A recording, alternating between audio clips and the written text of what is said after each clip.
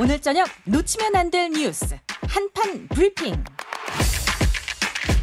한판 브리핑 민동기 평론가 나오셨습니다. 어서 오십시오. 안녕하십니까. 자 먼저 민주당 이재명 대선 후보 그리고 이낙연 전 대표가 오늘 51일 만에 전격 회동을 했습니다. 지난달 2일 선대위 출범식에서 마주쳤거든요. 예. 그 이후에 51일 만에 이제 두 사람이 만났습니다. 음. 이재명 후보가 7, 8분 정도 먼저 도착을 했고요. 이낙연 전 대표가 도착을 했을 때 대표님이 배려해 주신 덕에 열심히 하고 있다. 아, 제가 여러 가지로 부족한 게 많아서 대표님이 잘 보살펴 주시면 좋겠다라고 얘기를 했고 이낙연 전 대표는 네라고 웃으면서 고생 많으시죠? 잘 보고 있다 이렇게 답을 했습니다. 예. 1시간 20분 가량 오찬을 가졌는데요. 이재명 후보는 이낙연 전 대표에게 국가 미래비전 통합위원회 공동위원장직을 제안한 것으로 알려졌습니다. 예. 자 오늘 회동 현장 회동 결과 발표 내용까지 한번 잠시 들어보겠습니다. 너무 예산이 많아서 대통령이 많이 좀 업어주십시오. 민주당의 승리를 위해서 이재명 후보와 제가 함께 에, 노력하기로 했습니다. 때로는 어, 후보나 당과 결이 조금 다른 얘기도 할 수 있을 것입니다. 그에 대해서 후보께서도 에, 수용하겠다 의사를 밝혔습니다. 네, 이상입니다. 그 양자회동 이후에 합의상을 공동으로 발표를 했는데요. 예. 이낙연 전 대표는 방금 들으신 것처럼 국가비전과 통합위원회를 만들어서 어, 이재명 후보와 자신이 공동위원장으로서 운영하기로 합의했다고 밝혔고요. 아, 그리고 앞으로 본인이 활동해가는 과정에서 때로는 후보와 당과 결이 다른 얘기를 할 수 있다. 음. 그에 대해 후보께서도 수용하겠다는 의사를 밝혔다 이렇게 얘기를 했습니다. 아, 이재명 후보는 어, 이낙연 전 이낙연 전 대표를 일단 선대위 출범 51일 만에 수면 위로 끌어 올려 올리지 않, 않았겠습니까? 예. 그래서 지금 국민의힘 사관과 좀 대비가 되면서 좀 우위를 도모할 수 있게 됐다 이런 평가가 나오고 있고요. 그리고 호남과 중도층 유권자 공략에도 한층 가속도가 붙을 것으로 전망이 되고 있습니다. 예. 한편 또 그 이재명 후보 선대위에 새로운 변화도 모색하는 분위기인데 이재명은 합니다. 이 슬로건도 바뀐다면서요? 이게 지난 7월 대선 출마를 공식 선언한 이후 지금까지 이 슬로건을 사용을 했거든요. 음. 어, 이 후보의 뭐 경험이나 역량, 실적을 강조하는 그런 취지였는데 음. 이 슬로건을 좀 발전시키는 쪽으로 바꾸는 그런 논의를 하고 있는 것 같습니다. 왜냐하면 이 후보 실행력이 이미 유권자들에게 각인됐다는 그런 판단을 했기 때문인데요. 어, 또 하나 좀, 좀 고려를 한 게 지금 상호 비방전이 너무 거세지다 보니까 네거티브. 그렇습니다. 이재명은 합니다라는 말에 무엇을 하겠다는 그런 내용이 없기 때문에 뭐 여러 가지 정책을 둘러싼 전선이 형성이 될 수가 없다 이런 판단도 밑에 좀 빨려 있는 것 같아요. 예. 그래서 무엇을 전면에 내걸어야 한다는 쪽으로 논의가 진행이 되고 있는데요. 음. 실제 일부 보수 성향 온라인 이 커뮤니티를 보면은 이재명은 욕을 합니다 이런 식으로 비틀어 가지고요 네거티브 쇄조로 삼는 경우도 적지 않게 지금 아, 발견이 그렇군요. 되고 있습니다. 그래서 새로운 슬로건에는 뭐 경제 대통령이라든가 유능한 대통령 이미지가 포함될 가능성이 지금 높은 것으로 알려지고 있는데 예. 다만 선대위 일각에서는 원래 그 기존 슬로건이 너무 인지도가 높기 때문에 일부 글자만 다듬어서 새 슬로건과 병행해서 사용하자 이런 주장도 나오고 있습니다. 예, 김종민 민주당 의원은 저희 방송에서 이재명은 함께합니다. 뭐 이런 얘기도 했는데 예, 어떻게 이제 바뀔지는 봐야겠습니다. 자, 먼저 이낙연 전 대표와 이재명 후보의 만남 어떻게 보셨는지 친 작가님부터 말씀 주시죠. 어, 드디어 이제 뭐 봉합이 좀 되는 것 같습니다. 59일 만인가요? 51일. 51일 만에 이제 네. 봉합이 되는 것 같고 그 동안에 어, 이재명 후보의 고질적인 문제점이 바로 그거였지 않습니까? 지지층을 하나로 통합시키지 못했다라고 하는데 그 상징적인 인물이 이낙연 후보가 네. 사실상 경선 불복 상태였잖아요. 반쯤은 그런데 음. 그 경선에 이제 승복하는 모습을 보여줬기 때문에 예. 아마도 그 지지층들 전부 데려가긴 힘든다 하더라도 상당 부분 또 이낙연 후보의 선택을 따라서 가지 않을까라고 한다면은 반전의 기회가 될 수 있을 것 같습니다. 지금까지는 뭐 조금 밀리는 분위기였는데 여기서 이제 골든 크로스가 지금 나타나고 있고 이 기세를 몰아가지고 이제는 역전을 할 수 있는 기회가 좋은 기회가 온 게 아닌가 이렇게 생각합니다. 예, 강계정 수석님. 어, 산타크로스의 선물이라고 봅니다. 이낙연 이재명 후보가 예. 준비되어서 오늘 만났는데 내일 모레가 산타크로스가 오는 크리스마스인데 그런 점에서 큰 선물을 줬다 이렇게 만들었다 이렇게 생각합니다. 예. 사실은 우리 이재명 후보는 주연은 이재명 후보로 확실히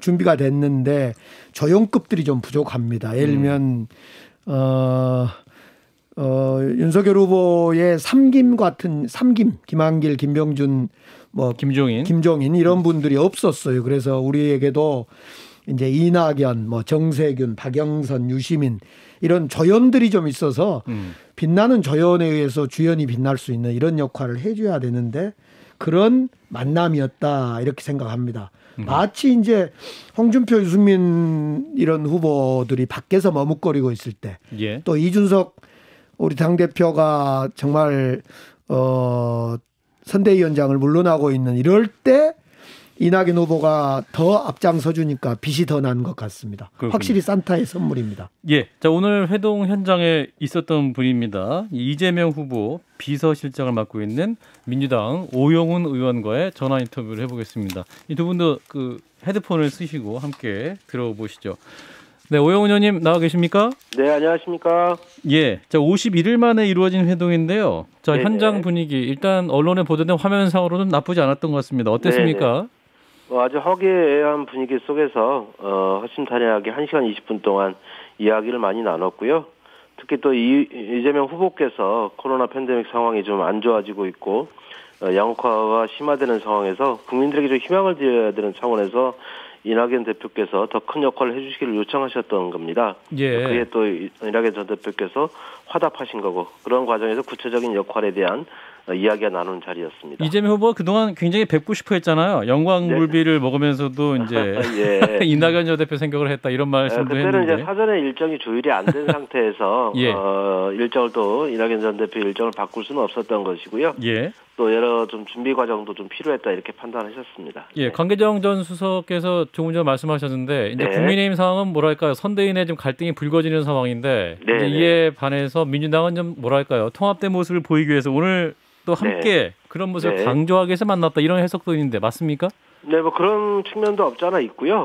어쨌든 민주당 경선이 끝나고 나서 어, 선대위가 구성이 됐지만 어, 아까 강기정 수석께서 말씀하셨지만 어, 이재명 후보만 보인다는 이런 목소리도 없지 않아 있었지 않습니까? 예. 예, 그렇기 때문에 더욱더 원팀의 힘을 더 배가시키기 위해서 이낙연 전 대표께서 더 큰 역할을 해주시는 것이 어, 더 큰 원팀을 만들어 나간다 이런 취지가 있었던 것 같고요. 그리고 또한 지금 현재 상황 자체가 국민들이 너무 힘들어하는 상황이기 때문에 예. 희망을 드리는 차원에서 어 그런 또두 분의 또 이야기가 공감대를 이뤘던 것이라 이렇게 봅니다. 예, 진 작가님과 우리 강계정 수석께서 함께 질문하겠습니다. 먼저 진 네네. 작가님부터 해주실까요? 어, 그 이낙연 전 대표가 회동 네. 결과를 밝히면서 네. 당 후보나 당과 좀 결이 다른 이야기도 할 수 있을 거다라고 말씀하셨는데 네네. 네. 구체적으로 뭘 가리키는 겁니까? 결이 이게? 다른 얘기. 예. 예. 음, 어쨌든 민주당 내 원팀을 만들어 나가는 과정 그리고 또 대선을 바라보는 시각들이 다를 수도 있고요. 예. 어, 그런 상황을 민주당 다움을 가져나가면서 당원들의 지지를 이끌어내고 또 자부심을 갖도록 해야 한다는 그런 취지의 말씀이셨고요. 또 다양한 목소리에 대해서도 존중해야 한다는 그런 의미로 해석할 수 있습니다. 음, 그러니까 당내 게시판을 다시 가동한다거나 강계정 네네. 또. 김사 이상희 교수의 징계 문제를 어, 네. 논의했다. 또 당내 네. 통합을 위해서 네드팀도 가동한다. 이런 네. 의견들이 좀 있는 것 같은데. 네. 예. 그렇습니까? 네, 어떤 그런 취지는 맞고요. 어쨌든 지금 일시적으로 당원 게시판이 지금 그 폐쇄가 됐었는데 예. 당내 민주주의 확장 또 그리고 굳건한 단합을 위해서는 어, 당내 게시판을 조기에 재개해야 된다는데 인식을 같이 했고요. 어, 이런 것은 저는 민주당원과 지지층만의 단합뿐만이 아니라 국민의 삶, 나라의 미래를 걱정하는 모든 국민들의 통합에도 그렇게 기여할 것이라고 보고 있습니다. 근데 제가 한 가지 더 질문을 드리면 네. 국가 비전과 통합위원회 공동위원장을 맡으셨던데요. 네, 네, 네. 그냥 확실하게 그냥 뭐 공동 선대위원장 말하자면 네, 네. 저쪽 당으로 보면 김종인 비대위원장 네, 같은 뭐 네. 총괄 총괄 선대위원장. 선대위원장 뭐 이런 걸 네, 좀 네. 화끈하게 맡을 수는 없었나요? 어, 그런 것보다 오히려 더 큰 의미가 있는 것이라고 보여지고요. 왜냐하면 어, 이 국가비전과 통합위원회가 그 코로나19 극복 또 양극화 완화, 복지효과 구현, 정치개혁 등의 어, 큰 많은 주제를 다루게 됩니다. 이게 차기 민주정부의 구체적 과제로 추진하기로 했, 했기 때문에 예. 차기 민주정부 구성에 대한 준비 작업을 함께 한다. 이런 의미이기 때문에 오히려 김종일 총괄 선대위원장보다 더 큰 의미를 부여한 거다. 이렇게 저는 해석하고 싶습니다. 진 예, 작가님. 그리고 그 기본소득을 비판했다는 이유로 제주도 당에서 징계를 네네. 받은 이상희 교수 문제 있지 않습니까? 네, 네. 그 문제도 논의를 하셨다고 들었는데 네, 그런 제안이 있었고요. 예. 어, 그 큰 차원에서, 그 통합의 차원에서 당내 경선 과정에서 불거졌던 또 이런 징계와 관련된 부분에 대해서 점검을 하고, 어, 그리고 더 큰 원팀으로 나아가기 위한 또 민주당의 승리를 위해서 이런 문제에 대해서도, 어, 실효적 조치를 취하기로 그렇게 이야기를 하셨습니다. 실효적 조치? 징계를 취소한다는 말씀이신가요? 네, 뭐 그런 부분까지 포함돼서 검토가 될 것으로 알, 알고 있습니다. 그 아울러서 이제 문제가 좀 남은 부분인데 그 네. 기본소득 있지 않습니까? 이게 이제 네. 당에서도 좀 반대하는 분들이 굉장히 많았는데 네, 네. 이 기본소득 문제는 아까 그 이낙연 전 대표가 말씀하신 네. 후보와 좀 결이 다른 결이. 다른 이야기에 들어가는 건가요? 글쎄 꼭 그렇게 단정하기는 어렵고요. 이미 이제 기본소득과 관련돼서는 후보께서 기본적인 원칙과 방향을 말씀을 해주셨고, 음. 어, 그리고 또한 당내 이제 신복지위원회를 또 구성해서 보편적 복지를 더욱더 강화하기 위한 이런 대응들도 공동으로 해나가고 있기 때문에 저는 충분히 협의하면서 단계적으로 그 구체적인 비전을 제시해 나갈 것이라 생각합니다. 예. 근데 최근에 이제 뭐랄까요? 이제 국민들께서 역대급 비호감 대선이다 이러면서 네네. 양당을 향해서 후보 교체해야 된다 이런 말씀하시는 분도 계세요. 네네. 그리고 민주당 지지자들 가운데서도 이제 욕설 녹음 파일을 튼다든지.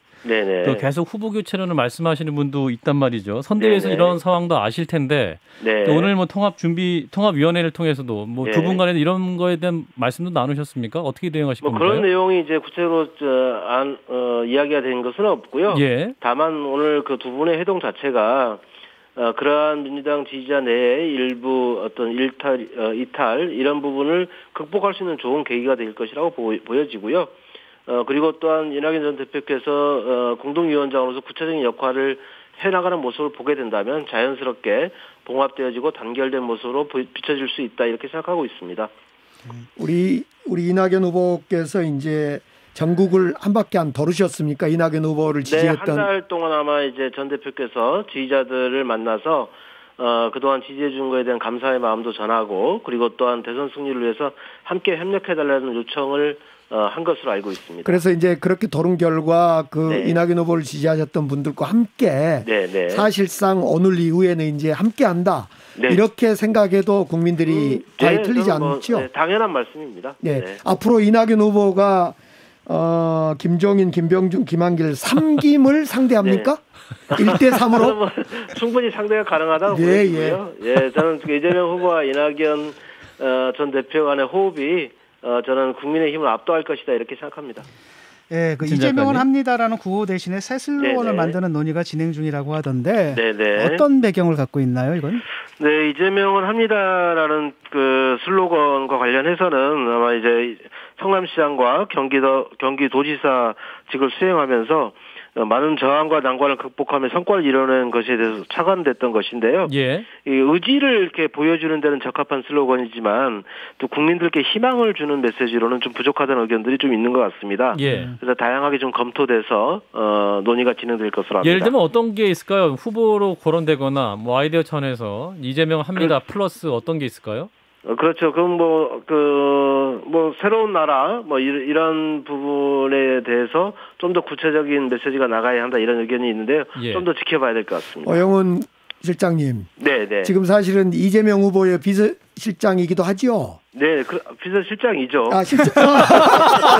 그러니까 무슨 말씀을 하시는 아니 아니 제 이야기는 예, 예. 제 이야기는 이낙연 우리 예. 저 후보의 비서실장이기도 하고 또 이렇다는 두 두 분의 사실상 시장이셨다가 선대위에 실장이다. 합류하신 네. 거죠. 예. 그래서 제가 한 가지 말씀드리고 싶은 네, 것이요. 네.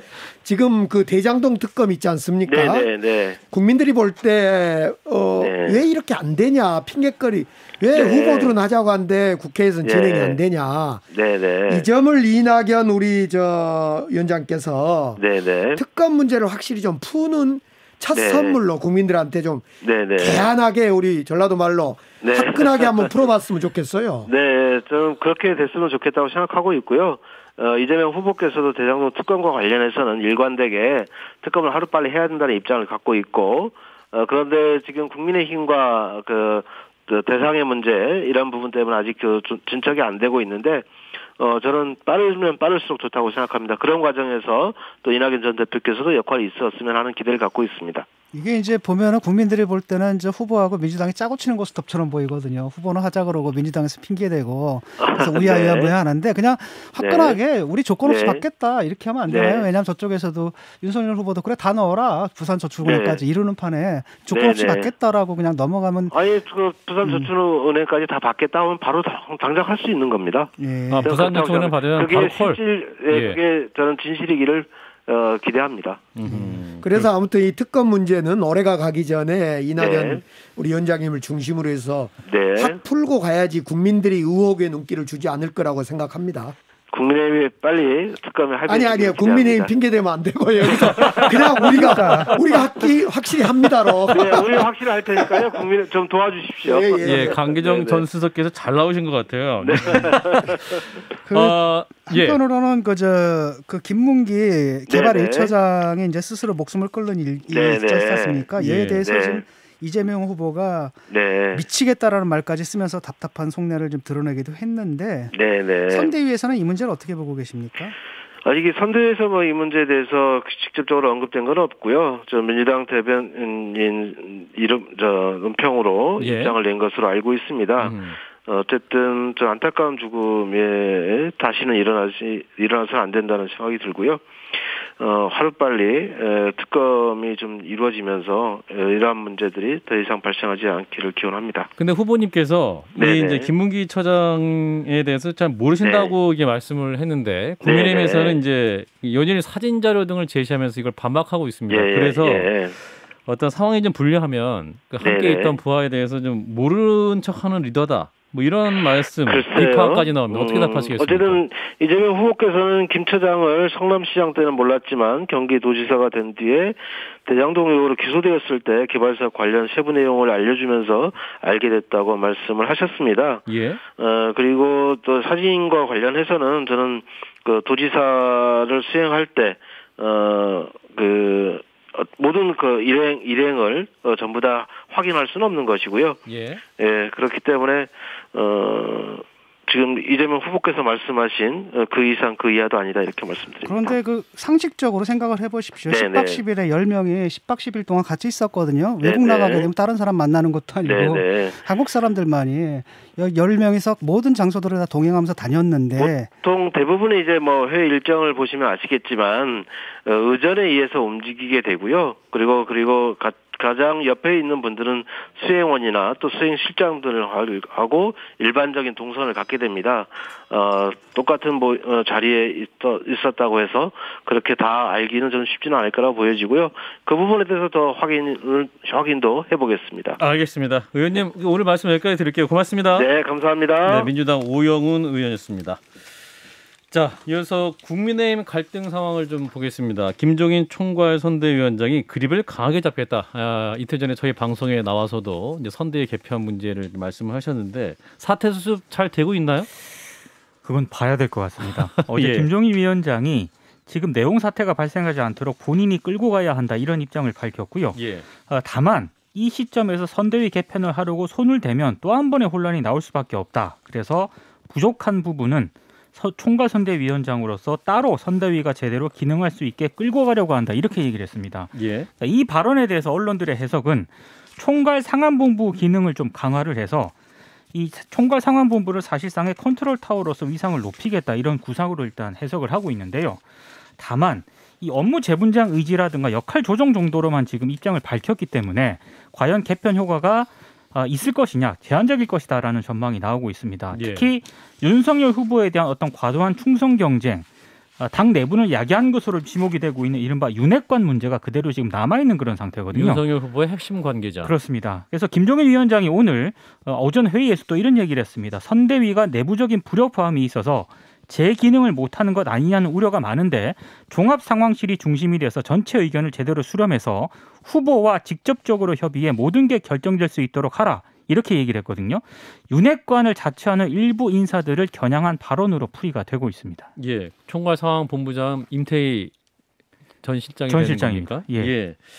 그런데 지금 또 이제 내부 갈등뿐 아니라 또 윤석열 후보의 가족 리스크 문제도 계속 좀 나오고 있는데 오늘은 그 윤석열 후보의 장모죠 재판 결과가 나왔는데 징역 1년이 확정이 됐습니다. 징역 1년을 선고를 받았습니다. 예. 어, 재판부는 위조한 장고 증명서의 액수가 거액인데다가 수회에 걸쳐서 지속적으로 범행을 했고 이 장고 증명서를 증거로 제출해서 재판 공정성을 저해하려 했다 이렇게 밝혔고요. 예. 또 차명으로 부동산을 매입해서 상당한 이익을 취한 것으로 보인다라고 양형 이유를 밝혔습니다. 예. 다만 이 사문서 위조 부분을 자백을 하고 현재 고령이고 건강 상태가 안 좋은 점 등을 참작했다라고 일단 바- 밝혔는데요. 음. 이 장모 최 씨는 경기 성남시 도청동 땅 매입 과정에서 안모 씨와 공모해서 은행에 347억을 예치한 것처럼 통장 잔고 증명서를 위조한 혐의로 기소가 됐고요. 그리고 도청동 땅을 사들이면서 안모 씨의 사위 등의 명의로 계약을 하고 등기한 혐의도 지금 받고 있습니다. 예. 이 안모 씨는 현재 같은 법원에서 따로 재판을 받고 있는 상황입니다. 윤 후보 입장도 나왔죠. 오늘 그 여수 광양만 광양 항만 공사 방문 후에 기자들이 이 문제를 물었거든요. 사법부 판결에 대해서 공적으로 언급하는 것은 적절하지 않다 이렇게 답을 했는데 예. 다만 검찰의 과잉 수사라는 그런 입장을 예전에 밝힌 적이 있지 않았습니까? 그렇죠. 이 부분에 대해서는 과거에 검찰에서 그 건으로 입건을 하지 않은 것은 그럴 만한 이유가 있었기 때문이라는 것이다 이렇게 답을 했습니다. 예. 자 여기까지 짚고요. 먼저 어, 김종인 위원장이 이제 그립을 잡기로 했는데 일단은 그 이준석 대표와 그 장재원 의원 사이에 또 뭐랄까 언론 보도를 통해서 또 공중전이 벌어지고 있는 이런 상황입니다. 자 국민의힘 상황 어떻게 보시는지 먼저 진 작가님부터 좀 말씀 주실까요? 일단 김정일 총괄 선대위원장이 나섰으니까 뭐 어느 정도 수습은 될 거라고 좀 봅니다. 네. 그럼에도 불구하고 갈등의 불씨는 계속 남아 있고 음. 특히 뭐 장재원 같은 경우는 이제 이준핵관의 핵심 인사고 네, 이준석 대표는 아니라는데. 그 그건 남들이 불러주는 거고 예 알겠습니다. 그렇죠. 남들이 판단할 문제고요. 예. 그다음에 이준석 대표 같은 경우에도 이 신세대잖아요. 음. 저희랑 생각하는 게 굉장히 다른 것 같아요. 우리 세대랑 우리 세대 같으면은 그래도 조직. 대표니까 음. 당을 위해서 네가 희생해야 되지 않냐 이러는데 굉장히 개인주의적이잖아요. 그래서 자기 입장을 굉장히 강하게 했기 때문에 여지는 아마 계속될 겁니다. 그리고 그 보면은 그. 유- 그 김종인 위원장이 완전한 그립을 잡는 스타일 잡는 방식이 아니라 예. 일종의 타협이거든요. 저쪽에 그 윤핵관이라는 사람들, 이른바 음. 비서실을 중심으로 뭉쳐 있는 특히 법사위 예. 출신들 이런 사람들과 조정을 통해 가지고 하겠다라고 했기 때문에 과거와 같은 그런 짜르와 같은 모습은 좀 아닌 것 같아요. 아, 총괄 선대위원장 그래서 모습이 그것이 이제 앞으로 어떻게 음. 어, 결말이 날지 이거는 좀 아직은 지켜봐야 될 것 같아요. 며칠 안 됐지 않습니까? 예 음. 강수성님. 사실은 이준석 선대위원장이 그만두겠다 할 때 누구도 어, 다시 와라 이런 말을 하지 않습니다. 하지 않지 않습니까? 예. 오히려 선대위에 들어오겠냐라고 오히려 못 들어오게 이 방어막을 쳤던 것 같은데 그 이유는 현재 국민의힘에서는 재창당 수준을 창당을 다시 좀 해보려고 한다.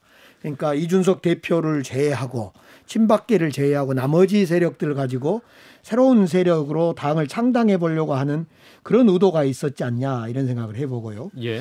이 이준석과 지금 장재원 이 윤핵관의 핵심은 이미 울산 해동 때 불안전한 봉합으로 인해서 잠재되어 있었는데 예. 이번에는 윤핵관이 핵심인 것 같지만은 실은 더 본질은 김건희 씨의 삼력, 경력, 학력, 수상 이력에 대한 이것을 어떻게 대응할 거냐. 즉 털고 가자는 의견과 밀고 그냥 밀고 가자는 의견이 내부에서 충돌한 것 아니냐.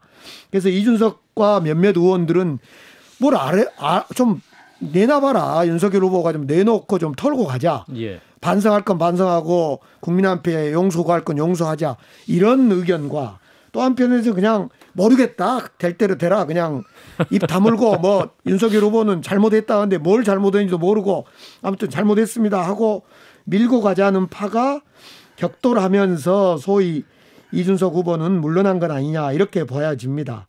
그 심부름을 이제 조수진 저 소위? 공보단 조수진 공보단장이 윤석열 후보의 입장을 캠프 내에 전달하면서 거의 이제 알겠습니다. 격화된 걸로 보여집니다. 예, 그 문제 그렇게 정리하고요. 뭐 다음 윤석열 후보의 그 장모 리스크 문제 어떻게 마무리될 것 같으신지 짧게 들어볼까요? 진 작가님 20초씩. 예. 이거는 뭐 법적에서 판단을 내린 거니까 예. 그걸 어떻게 하겠습니까? 예. 그건 3년 강수사님? 1년 이미 법적 예. 판단을 받았기 때문에 예. 예. 예. 끝난 거라고 봅니다. 예. 끝난 것이다. 예. 예, 알겠습니다. 예, 여기까지 짚도록 하죠. 민동기 평론가였습니다. 고맙습니다. 고맙습니다.